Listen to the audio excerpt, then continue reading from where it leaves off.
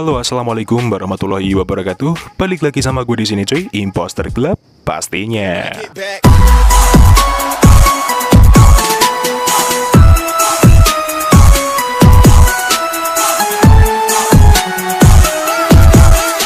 So, di video kali ini seperti biasa, gue bakal review dan share kembali config terbaru untuk GCam LMC 8.4 yaitu config iPhone 16 Pro Stabilizer by Imposter Club cuy. Dan seperti biasa juga di sini gue review menggunakan HP kesayangan Poco X3 NFC. Dan seperti apa untuk hasil di mode video maupun di mode fotonya, mari langsung aja kita coba. Tapi sebelum itu, jangan lupa untuk di like, komen, dan subscribe di channel Imposter Club agar kalian tidak ketinggalan dengan video terupdate lainnya. Terima kasih untuk waktunya, mari kita langsung ke tutorialnya.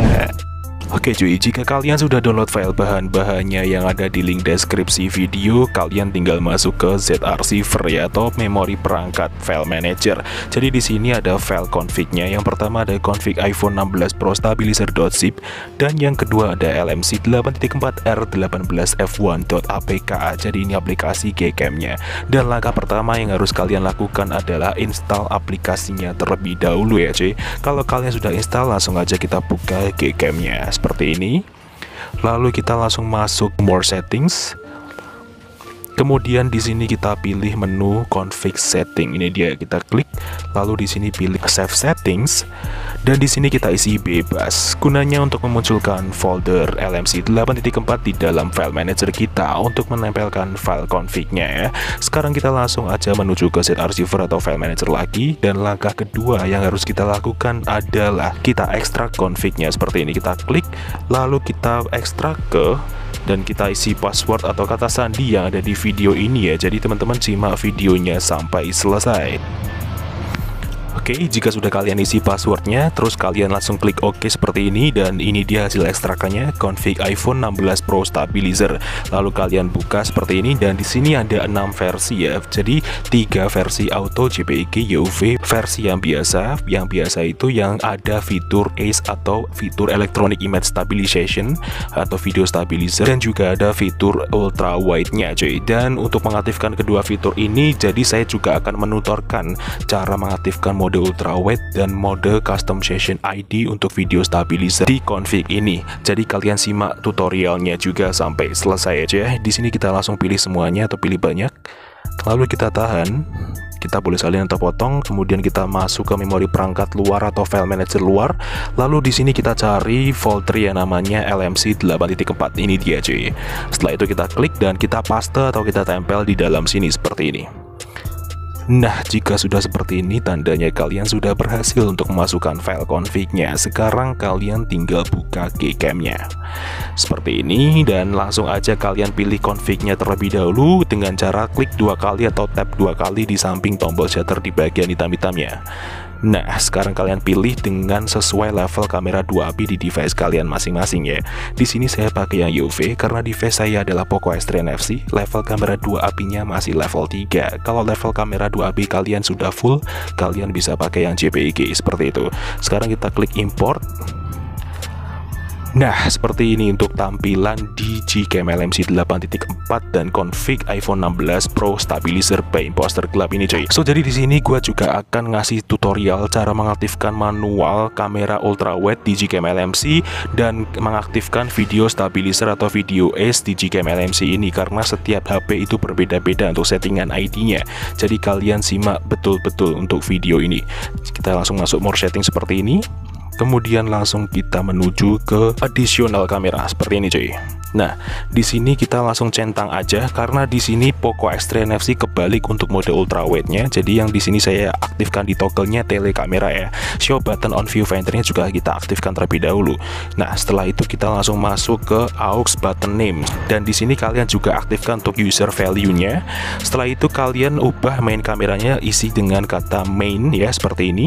Dan setelah itu untuk telenya kalian nggak usah isi karena di sini kita tidak mengaktifkan mode telenya dan untuk untuk wide kameranya kalian boleh isi wide seperti ini ya. Langsung kalian klik OK dan kembali Nah, langkah selanjutnya adalah kita masuk ke list ID manually. Nah, list ID manually ini kalian aktifkan saja seperti ini dan untuk list ID manualinya kalian isi sesuai settingan ID di device kalian masing-masing dengan cara pakai aplikasi yang namanya kamera HW. Nanti saya sertakan linknya di deskripsi video. Kalian tinggal download aja gratis. Oke, dan ini adalah settingan kamera ID di device Poco X3 NFC. Jadi untuk di bagian ultrawide-nya kedetek untuk untuk angka 22 ya. Untuk di angka 21 itu di bagian back ID support hardware level 3 telenya ya Oke seperti itu dan kita isi untuk 4 digit angka di bagian depan saja. Seperti 012122 jadi yang perlu kita isi adalah 012122 seperti ini. Nah nanti kalau jika di device kalian terdeteknya apa kalian tinggal sesuaikan aja angkanya ya. Dengan 4 digit awal di bagian depan oke seperti itu cuy langsung kalian klik OK dan langsung kalian coba untuk ultrawide nya ini udah aktif. Selanjutnya selanjutnya langsung aja kita aktifkan untuk video stabilizernya. Sekarang kalian tinggal masuk ke sistem setting seperti ini. Lalu kalian masuk ke stream configuration. Nah di sini kalian masuk ke main kamera terlebih dahulu. Nah ini dia. Langsung kalian aktifkan untuk toggle enable configurationnya. Lalu yang perlu diubah adalah di bagian video mode ini cuy. Kita ubah dengan sesuai custom session ID per device ya karena ini juga berbeda-beda settingannya. Jadi untuk Poco X3 NFC adalah 61 1444 Ace versi 2 ini dia ya teman-teman ya. Jadi kalau di device kalian tuh keteteknya apa nanti sesuaikan aja. Dan untuk mengetahui custom session ID nanti saya juga sertakan kamus untuk custom session beberapa device saja. Karena itu updatean dari pihak developer BSG ya. Jadi yang perlu diubah di bagian video modenya saja. Setelah itu jika kalian ingin mengaktifkan video stabilizer di bagian mode ultrawide nya kalian juga bisa pilih wide camera. Dan kalian juga aktifkan di enable configuration. Setelah itu kalian masuk ke video mode lagi dan ubah dengan custom session ID-nya. Oke, dan di sini saya bukakan custom session ID-nya terlebih dahulu dan ini dia untuk custom session ID per device ya. Hanya beberapa device saja yang terdaftar di kamus ini karena belum banyak yang update. Ini pun juga dari pihak developer BSG ya teman-teman ya yang membagikan untuk custom session ID per device untuk mengaktifkan video stabilizer. Oke, jadi di Poco X3 NFC ini sudah ada Poco X3 main kameranya di 61444 atau 3 2772 dan untuk ultrawide-nya sendiri di bagian 1080 resolusinya dan untuk custom sessionnya adalah 32781 dan untuk wide 4K nya juga berbeda lagi nih 32772 seperti itu.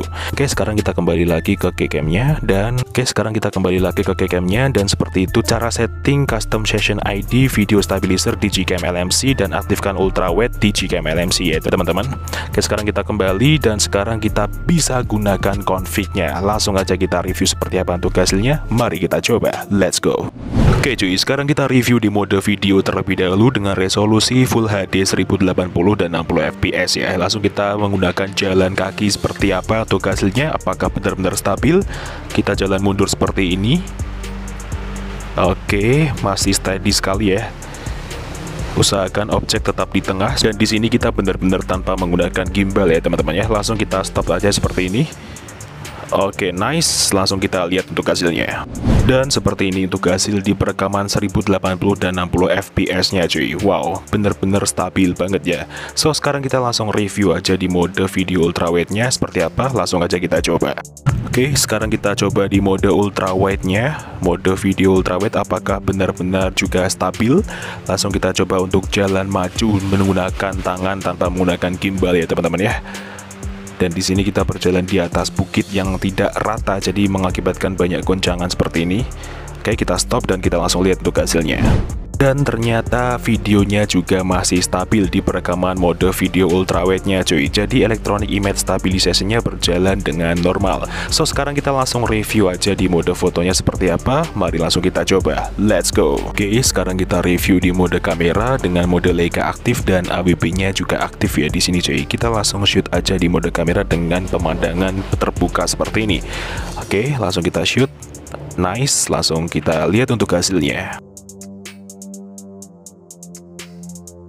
Oke, jadi seperti ini untuk hasil di mode kameranya ya teman-teman ya dengan posisi AWP aktif dan mode Leica aktif terlihat lebih soft, detailnya juga dapat banget apalagi untuk kontrol exposure-nya yang sangat-sangat bagus banget ya untuk komposisi siang hari seperti ini cuy. Oke, sekarang kita review di mode AWP non aktif untuk selanjutnya. Oke, sekarang kita coba di AWP non aktif, kita shoot aja dengan sudut yang hampir sama. Oke, langsung kita lihat untuk hasilnya cuy. Ya, dan ini untuk hasil di mode kamera yang kedua menggunakan AWP nonaktifnya. Dengan sudut yang hampir sama, kita agak turun sedikit, memberikan hasil yang masih sama, konsisten sekali untuk warna, kontras, dan pencahayaannya, teman-teman. Ya. Jadi tidak ada perbedaan yang sangat mencolok di sini, cuy. Oke, sekarang kita langsung review di mode potret untuk selanjutnya. Oke, sekarang kita coba di mode potret yang pertama menggunakan AWP aktif ya. Dan di sini kita juga mengaktifkan mode Leica-nya, cuy. Langsung kita shoot aja menggunakan mode potret di sini kita main zoom sedikit aja. Kita tap bagian wajahnya langsung kita shoot. Oke nice. Langsung kita lihat untuk hasilnya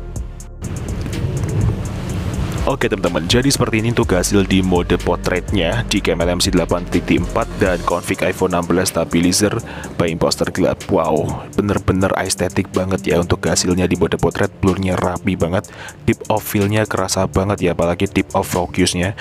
Ini kerasa dynamic range-nya juga luas sekali, warnanya juga enak banget, gak mencolok sama sekali teman-teman. Jadi menurut saya elemen fitur Leica-nya pas banget digunakan untuk foto potret di outdoor seperti ini cuy. So sekarang kita review di mode potret tanpa AWP aktif. Oke, sekarang kita coba di mode potret tanpa AWP aktif. Langsung kita tap ke bagian wajahnya dan kita shoot. Oke, nice. Kita langsung lihat hasilnya seperti apa. Oke, okay, finally untuk hasil di Gcam LMC 8.4 dengan config iPhone 16 Pro stabilizer by imposter gelap ini cuy. Wow, keren banget ya di mode potret tanpa WP aktif lebih natural lagi untuk hasil di rona kulit manusianya. Untuk dynamic range-nya tidak sekuat di AWP aktif, tapi ini udah enak banget tone yang dihasilkan pada mode potret AWP non-aktif ya teman-teman. Detailnya juga masih enak banget di bagian objeknya. Jadi lebih memberikan kesan yang dramatis untuk hasil gambar di mode potret ini cuy. So, mungkin cuma itu itu aja yang bisa direview pada video kali ini mengenai Gcam LMC 8.4 dan config iPhone 16 Pro Stabilizer by Imposter Club. Jika ada kurang lebihnya, mohon dimaafkan dan jika ada kritik dan saran bisa disampaikan di kolom komentar. See you next time, enjoy the video dan sampai jumpa.